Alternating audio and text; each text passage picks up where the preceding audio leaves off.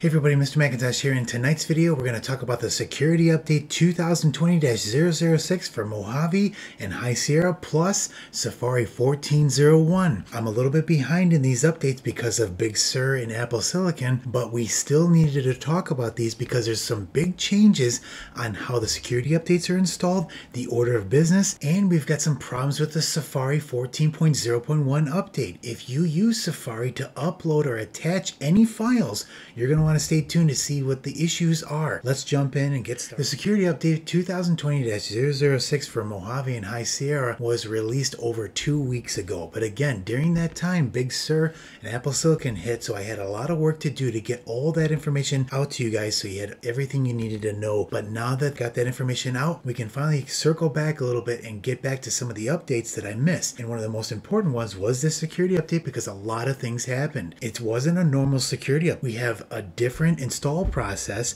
and we've got issues with Safari. So let's jump right in and talk about the security update first, and then we'll get to Safari. So first, with the security update, we need to talk about the previous 2020-005 security update that caused a bunch of issues for users. I'll put a link to my previous video there if you were interested in what happened and what went down, and you can read the articles that I posted here that kind of go over the entire process of what went down during that issue. The bottom line is, is that when you install the security update and the Safari 14.0 update together, it caused some serious problems with Mojave 10.14.6. And the only way to fix that was to reinstall the base version of Mojave 10.14.6 over the top of the previous one and then install the security updates again. So again, it was a huge problem and I covered that whole thing if you again if you wanted to go over Let's that. talk about the install process for the 2020-006 security update here. I tested this pretty heavily because of all the problems with the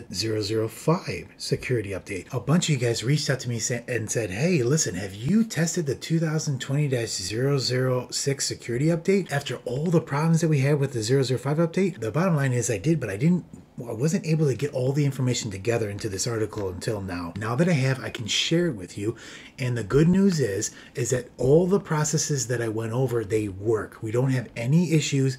Again, you know, minus Safari, Safari, and I'll get to that later. But let's start in. If you have a base install, let's say you did a fresh install of Mojave 10.14.6, you're going to be at 18G103. So you're thinking, hey, I've installed security updates in the past. I'll just you know, run software update and I'll see 2020-006.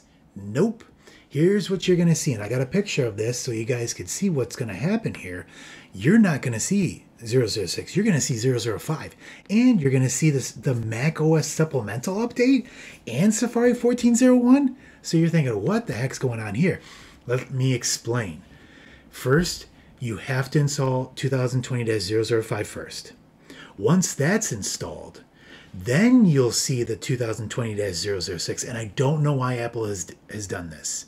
There's got to be some sort of dependency, or it was because of all the problems with 005 that you have to install 005 first, then install the supplemental update, which is Safari 14.0. Then install 14.01 over the top of that. That's in the install process, and I got that here. The order to install is number one, the supplemental update. That installs 14.0 first. Number two is the Safari 14.01 update. Then number three is the 2020-005.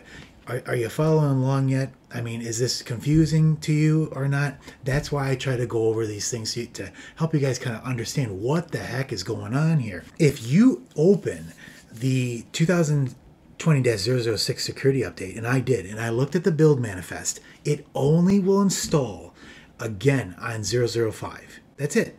So if you have anything less than that, it just straight up won't even install. So now you know that this is the order of install if you have anything less than 2020 005 installed on your Mac. So now that we've got that covered, well, wait a minute. Wonder if you have a Mac that has 2020 005 on it. If you've got that, you will probably see this picture.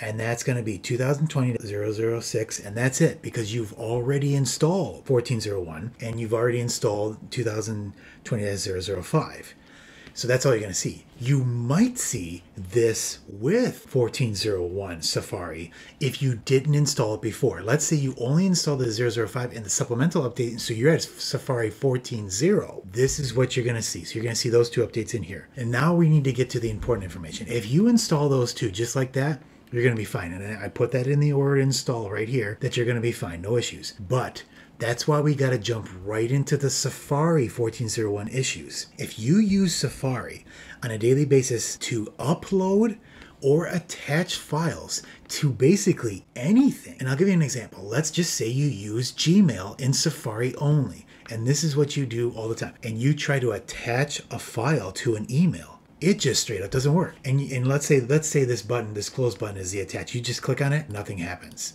You can click on it all day, nothing happens. The attachment window to attach a file will never open. And this is a bug in 1401. And you guys have reached out to me and you've asked me about this, and I've confirmed it. This is a real problem and it's not going to be fixed until 1402 comes out. So if this is critical for you, it is important that you hold off on this update. And I'll test it when it com- when 1402 comes out. I'll test it to make sure that it works. And I'll let you guys know beforehand, and I'll make sure the order install works and everything's good before you guys install this. But again, that's why you waited, right? You didn't want to install this because you thought, well, wait a minute, I don't want to have something happen again. And here we are all over again with another issue. Now, you might think, okay, that's not that big of an issue.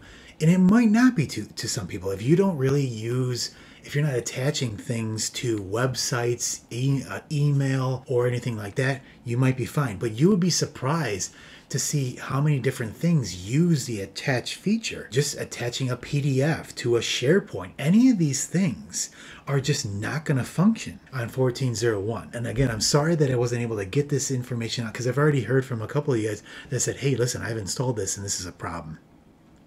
So I wish I would have gotten this information out to you guys before you made the jump, but at least I can get this out to you now. So maybe we can, can prevent anybody else from installing this and having some issues here. here. There's no current workaround other than that you'll have to use Firefox or you'll have to use Chrome. And again, that's not that bad of a workaround, right? If you don't use those browsers, you just you can just install them and use those to do that. There's a lot of people that rely on Safari solely for it doesn't matter if you're in the enterprise, you're in a production environment, or whatever kind of application or thing that you're using is critical to use Safari. Then you're you're stuck, right? Now there's very few workarounds that you can do if you require Safari for whatever website you need. You're going to have to downgrade to fix this.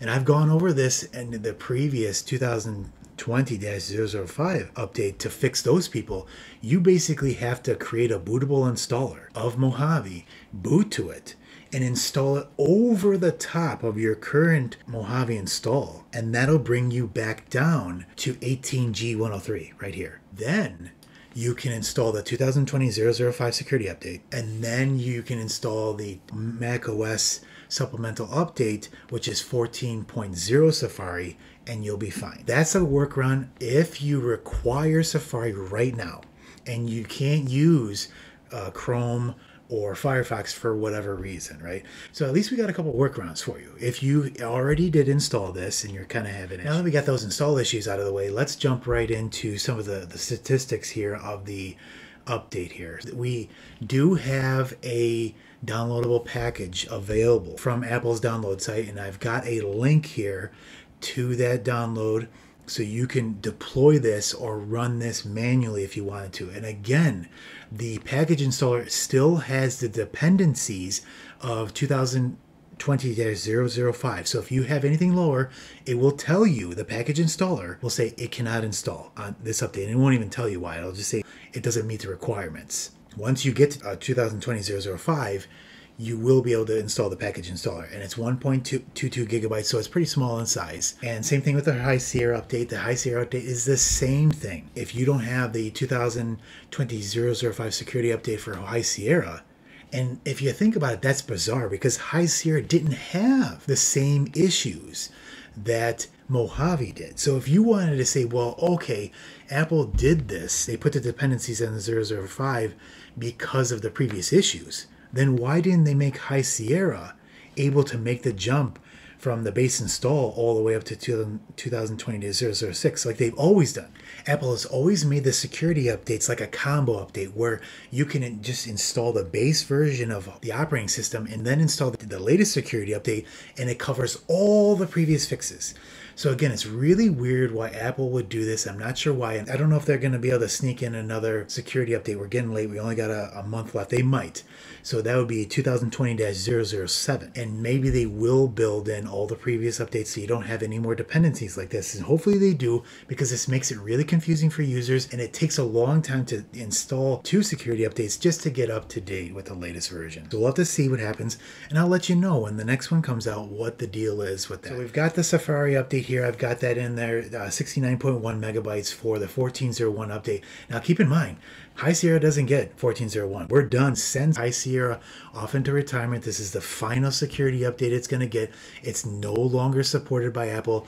Apple now supports only the previous two operating systems, which is Catalina and now Mojave. Again, High Sierra, you've been great. We'll we'll give you your gold watch. Congratulations on your retirement. Hopefully, you can move to Florida and enjoy your retirement. So the bridge update. It, the bridge update is 17.16 16,610 and I put the three security fixes that were included just for the 2020-006 security update in here and I usually what I'll do is it comes with a big list on Apple's security page but I'll only put the ones that were for Mojave and High Sierra and I put the ones for Catalina in my other article that was the supplemental update. So that's it guys that's the 2020-006 security update and Safari 14.01. I hope this video created value for you. If it did consider liking the video and subscribing if you want to see more videos like this in the future. If you're already a subscriber, thank you very much, and we'll catch you in the next video. Thank you.